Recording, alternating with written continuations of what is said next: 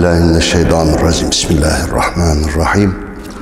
الحمد لله رب العالمين وكفى والصلاة والسلام على أشرف الأنبياء المصطفى وعلى آله وصحبه أجمعين ومن تبعهم بإحسان إلى يوم الدين. اللهم لا سهل إلا ما جعلته سهلا.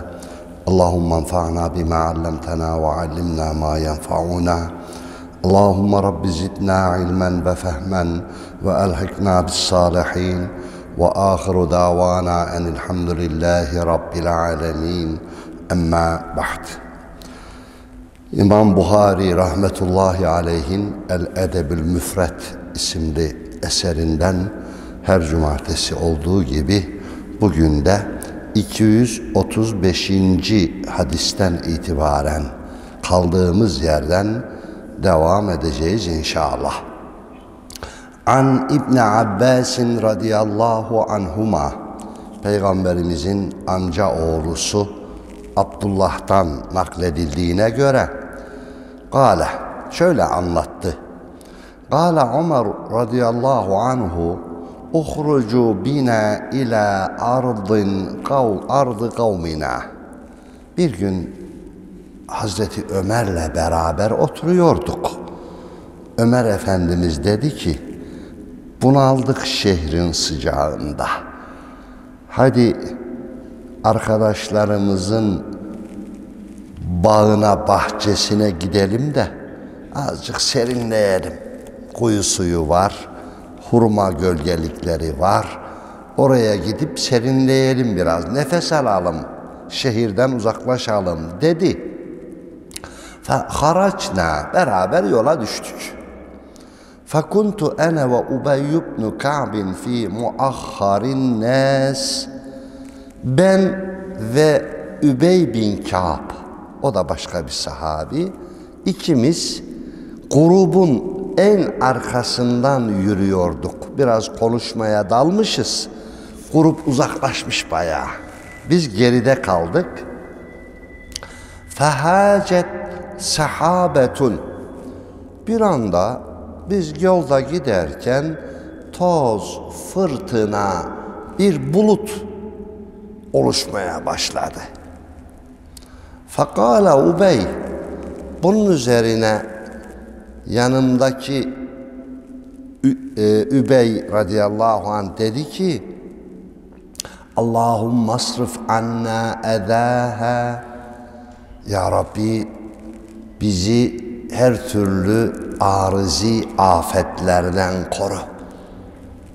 Bizi efendim yağmurun, selin, fırtınanın afatından koru ya Rabbi diye dua etti. Yürümeye de devam ediyoruz bu arada ama öndeki grup aştı tepeyi diyor. فَلَحِقْنَاهُمْ وَقَدْ اِبْتَلَّتْ رِحَالُهُمْ Neyse bir müddet sonra önceki gruba yetiştik. Bir de baktık ki hem kendileri sırılsıklam hem de eşyaları ıslanmış. Su içinde kalmış hepsi. Fakalu bize baktılar dediler ki ma asabakum ellezî asaben asabena Allah Allah yahu buraya yağmur yağdı toz fırtına biz ıslandık sırılsıklam olduk. Siz kupkurusunuz. Sizde bir şey yok. Nedir bunun hikmeti? Dediler. Kultu innehu da'allâhe azze ve celle en yasrife anna edâhâ. Şu arkadaşımız var ya Übey elini açtı dedi ki ya Rab bizi bu bulutların, fırtınanın, tozun, afatından muhafaza eyle. diye dua etti. Herhalde bizim bulunduğumuz yere onun için yağmadı. Bir de yağmurdan daha çok çölde insanı bıktıran, rahatsız eden şey kum. Kum fırtınası. Hatta umreye gidenleriniz bilirler.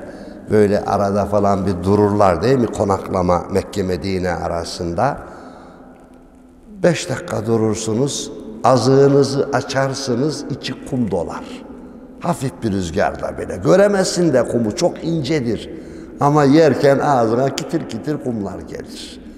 Çöl kumu, fırtınası, rüzgar hakikaten insana sıkıntı verir. Fekale Ömer. Öndeki grupta Ömer de var ya Hazreti Ömer. Hazreti Ömer dedi ki Ela da'avtum lena ma'akum.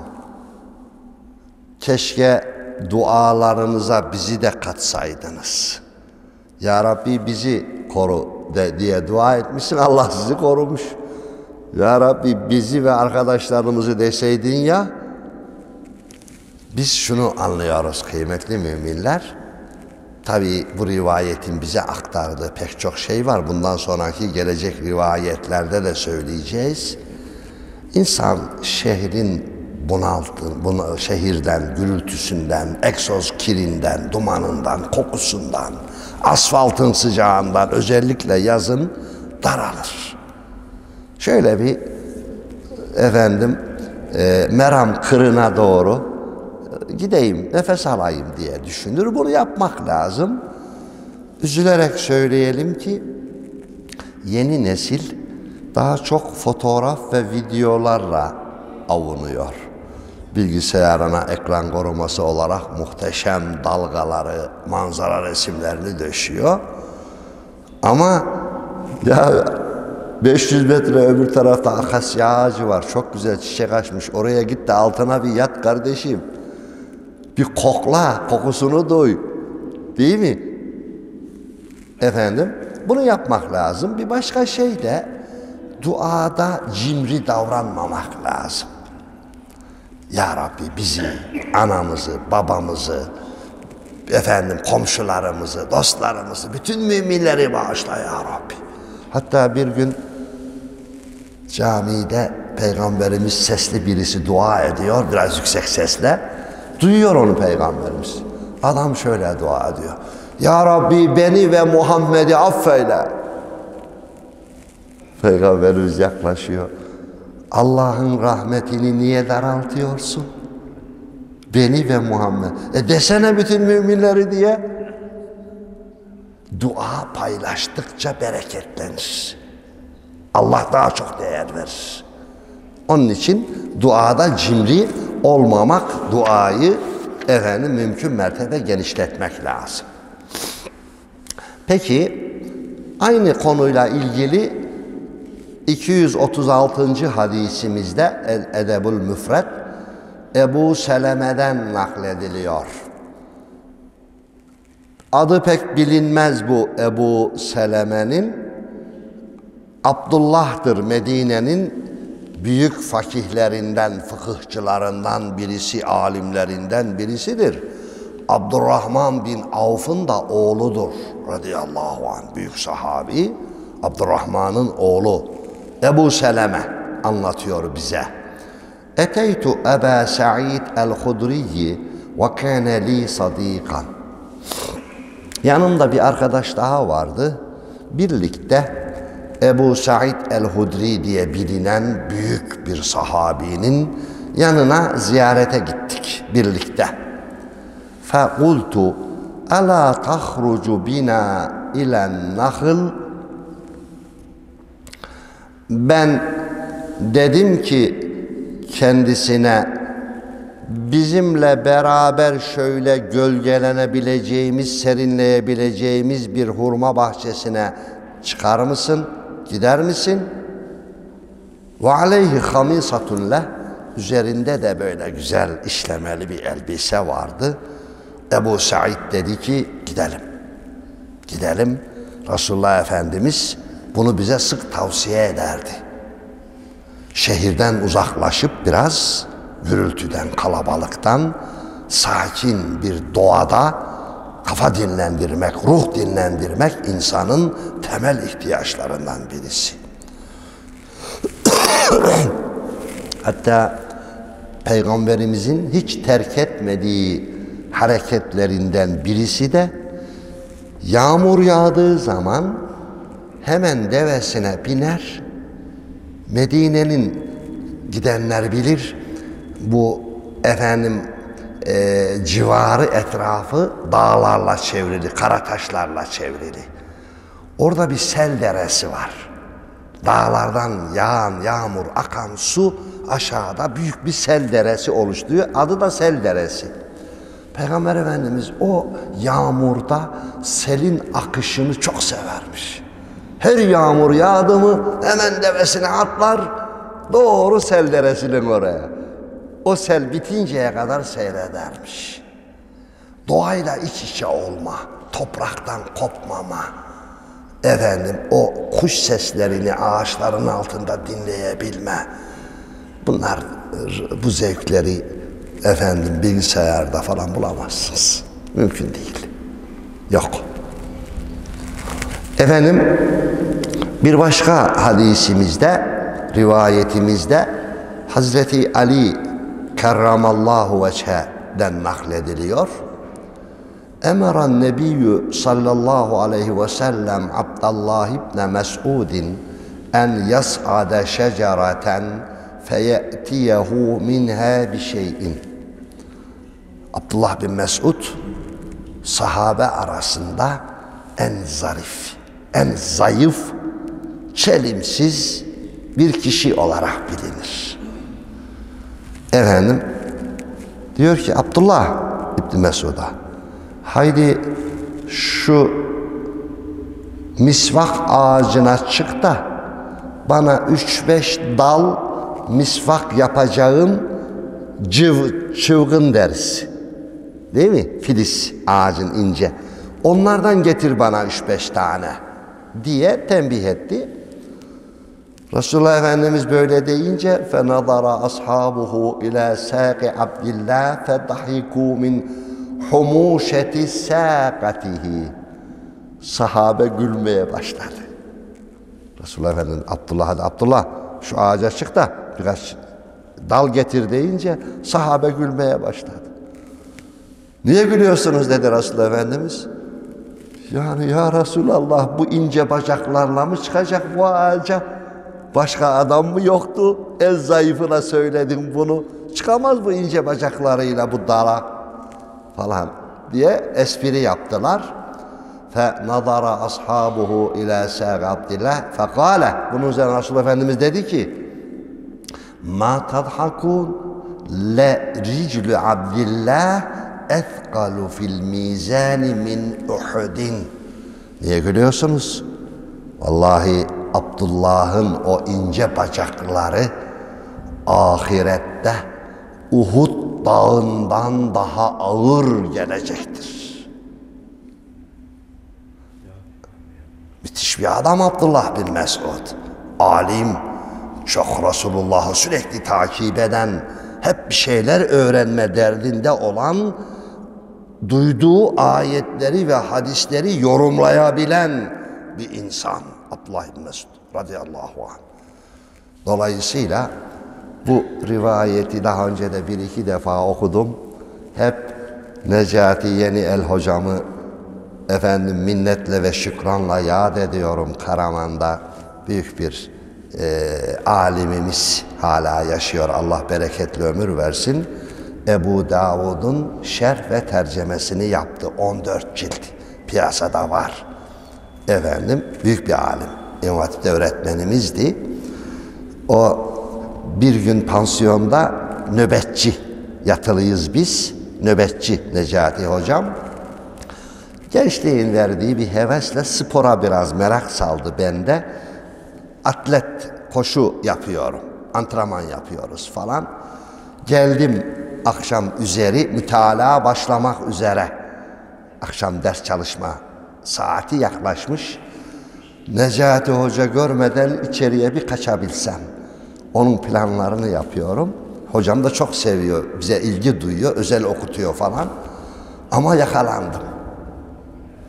Yusuf gel bakayım buraya dedi. Hemen vardım. Titreye titreye. Benim yakamdan tuttu. Duvara yasladı şöyle. Bak aslanım dedi. Bize camız bacaklı adam lazım değil. İmam azam kafalı adam lazım. Sen okuyacaksın dedi. Bırak bunları. Oymuş bıraktık.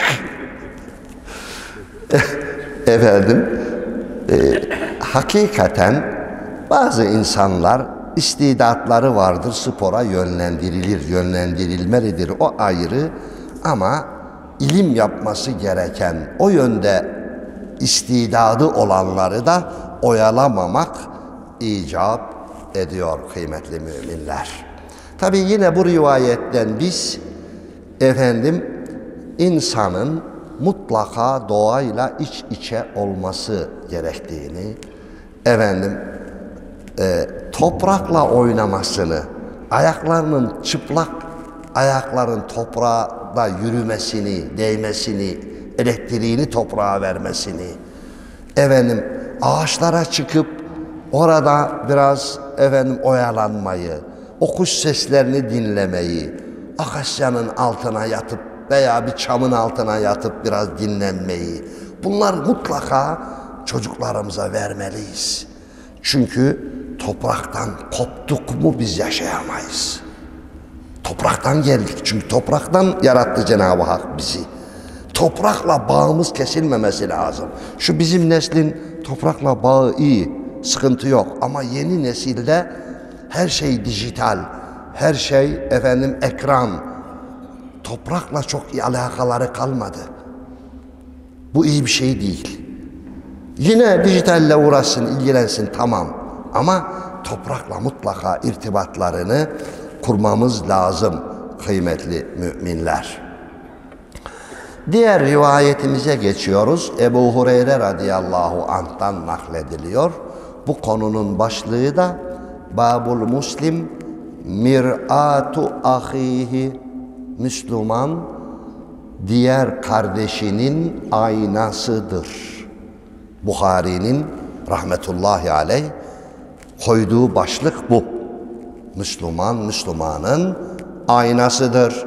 Bununla ilgili rivayeti Ebu Hureyre Efendimiz naklediyor radıyallahu an. El muminu mir'atu ahihi İzâ ra'a fîhâ ayben aslahahu. Müslüman Müslümanın aynasıdır. Ona bakar. Onda bir kusur gördüğünde hem onun kusurunu düzeltmesi için uyarır ama münasip bir dille uyarır. Hem de bende de mi var acaba o kusur? Kardeşimde varsa aynı şey bende mi yapıyorum acaba? diye kendisini de sorgular. İki yönlü bir faydası var Müslümanın Müslümana ayna olmasında. Tabi uyarırken dikkatli olmak lazım. Hele gençler yeni nesil çok alıngan, çok kırılgan, çok zarif. Mübarekler küçük bir şey söylediğimi kırılıverecek. Aman kırılmasın diye biz anne babalar da titreyip duruyoruz. Münasip bir dille izah etmek, anlatmak, karşıdakinde bir kusur gördüğümüzde ama o kusuru gördüğümüzde mutlaka acaba bu hatayı bende yapıyor muyum? Ayna böyle olur. Kendimizi görmemiz lazım aynada yani. Biz dünkü Cuma sohbetinde de kıymetli müminler konu biliyorsunuz yağan yağmurlar ve karlar dolayısıyla Rabbimize şükür duasında bulunduk. Elhamdülillah. Ben de Hacı Veysade'deydim merkezde. Orada değindim. Hakikaten bu dönem, bu çağ insanı şükürsüz bir millet haline geldi. Hepimiz. Şükürsüzüz. Ne insanlara teşekkür etmesini biliyoruz ne Allah'a teşekkür ediyoruz. Zaten bu ikisi birbirine bağlı. Men la yeşkurullaha la yeşkurun nase diyor Peygamberimiz. Allah'a teşekkür etmeyen kullara da teşekkür edemez. Etmez. Bir şükürsüzlük var. Ya bir şuraya bir iş yapılmış. Allah razı olsun yapan edenden. Teşekkür ederiz. Sebep olandan. Şurası eksik kalmış veya şu da yapılsa daha iyi olurdu. Önce bir takdirimizi sunalım, teşekkürümüzü yapalım. Sonra yine eleştirimizi sunalım canım. Buna engel bir şey yok. Ama hiç takdir yok. Hiç teşekkür yok. Sadece şikayet, sadece yeni talepler. Kıymetli müminler. Allah diyor ki siz ne kadar nimetlere teşekkür ederseniz ben de o kadar artırırım. Ben de o kadar artırırım. Şimdi kar yağdı. Biz buna teşekkür etmeliyiz. Ki Rabbim artırsın. Artıracak da inşallah. Ama acaba geçen hafta kar yağdı. Kaç canım iki parmak bir şey. Ya öyle diyeceksin elhamdülillah yağdı. Ama Rabbim devamını lütfetsin desene. Şükürsüzlük ruhumuza, iliklerimize işlemiş. Bu bir hastalık. Eğer biz Allah'ın verdiği nimetlere şükrümüzü yerine getirmezsek Allah o nimetleri kısar, kısar, sonunda elimizden alır. Bunlar bilmiyor bu nimetin değerini der, değerini bilenlere verir kıymetli müminler o nimetleri. Onun için şükürsüz olmayalım kıymetli müminler. Peki diğer rivayetimiz yine benzer. El muminu mir'atu ahihi vel mu'minu ahul mu'min yakuffu aleyhi day'atahu, ve yahutuhu min varaihi. Müslüman, Müslümanın aynasıdır. Ona baktı mı kendisini görür. Demek ki ben de mi aynı hatayı yapıyorum? Allah Allah falan diye kendisini görür. Başka mümin müminin kardeşidir ve yekuffu aleyhi day'atahu Müslüman kardeşinin zarar görmesini istemez. Kendin nasıl zarar görmek istemiyorsan kardeşinin de zarar görmesini istememelisin. Bir malın değeri bellidir. İşte bu kaç lira? 10 liradır piyasası. Hiçbir şeysi yok, sapasağlam. Adam paraya dar, daralmış, 5 liradan satışa çıkarmış. Sen de bunu fırsat bilip üzerine çökme adamın malının. Göster uzmanlarına kardeşim bu kaç lira? 9 lira, 10 lira. Demek ki adam daraldığı için ucuza, ucuza satıyor. Ben hakkını vermeliyim bunun dememiz lazım. Ama yeter ki fırsatı yakalayalım. Elimizden gelse de bedava bile alırız. Maalesef. Halbuki Müslüman diğer Müslümanı kendi öz kardeşi gibi bilir ve asla onun zarara uğramasını istemez. Gönlü razı olmaz. Ve yahutuhu min varaihi Müslüman arkadan anarı Konya ifadesiyle arkadan anarı geriden geriye kardeşini kollar. Haberi bile yoktur kardeşimin ama ona bir zarar gelecektir. Ben usulca önlüyorum. Bildirmem bile kendisine. Böyle olmamız lazım. Müminlerin zarar görmemesi için elimizden gelen gayreti göstermemiz gerekir kıymetli müminler. Ebu Hureyre radıyallahu anh nakletti bu hadisi şerifi Resulü Zişan Efendimiz'den.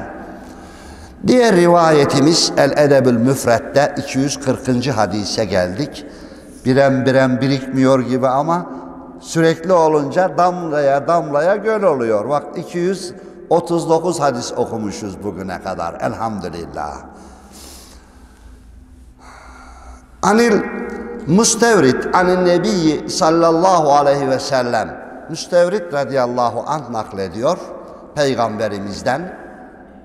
Men ekele bi muslimin ukleten bir kimse Müslüman kardeşinin haksız yere bir lokmasını bile yese, haksız yere, bir lirasını bile gasp etse, zulmetse, zarara uğratsa, bir liralık zarara uğratsa, فَاِنَّ اللّٰهَ يُطْعِمُهُ مِثْلَهَا مِنْ cehennem. Allah ona cehennemden o zulmünün ve haksızlığının fazlasıyla lokma olarak o adama yedirir. Allah muhafaza. Beş lira mı hakkını adamın aldın, zulmettin, beş liralık mı zulmettin? Cehennemden beş liralık bir ateş lokmasını yiyeceksin diyor Peygamberimiz Aleyhisselatü Vesselam. Efendim, وَمَنْ كُسِيَ بِرَجُلٍ مُسْلِمٍ فَاِنَّ اللّٰهَ عَزَّ وَجَلْ يَكْسُبُهُ مِنْ cehennem. Bir elbise haksız yere gasp edersen cehennemde de o elbiseye benzer ama ateşten yapılma bir elbiseyi giyeceksin. وَمَنْ قَامَ بِرَجُلٍ مِنْ مَقَامَ رِيَاءٍ وَسُمْعَةٍ Bir insan başka birinin sırf makamına, zenginliğine, efendim işte toplum içinde saygın bir adam falan diye saygı gösterir, ayağa kalkar, yalakalık yaparsa, takla atarsa Türkçemizdeki argo ifadesi menfaati için ciğeri beş para etmez ama o makamda bulundu. Herkes de bunu biliyor, onun önünde takla atıyor sırf menfaat için. Kim böyle yaparsa فَاِنَّ اللّٰهَ يَقُومُ بِهِ مَقَامَ رِيَاءٍ وَسُمْعَةٍ يَوْمَ الْقِيَامَةِ Allah böyle insanları toplum içinde mahşer toplandığında falan falan falan falan kalkın ayağa bütün insanların huzurunda. Allah onları afişe edecek, rezil edecek, rüsva edecek. Bunları yalakadır. Bunlar taklacıdır. Bunlar samimi değil, menfaati için her şeyi yapar bunlar diye bütün bir insanlığa rezil, rüsva edecektir değerli müminler. Şüphesiz edebimizden, saygımızdan biz anamızın, babamızın, öğretmenimizin, bizden büyük insanların elini de öperiz. Efendim onlar için ayağa da kalkarız. Oturduğumuz yeri de veririz. Bu bir edeptir, bir menfaatim yok ki benim. Sırf saygımdan dolayı yapıyorum. Bu sünnete uygun bir şeydir. Böyle yapmamız lazım. Var elhamdülillah.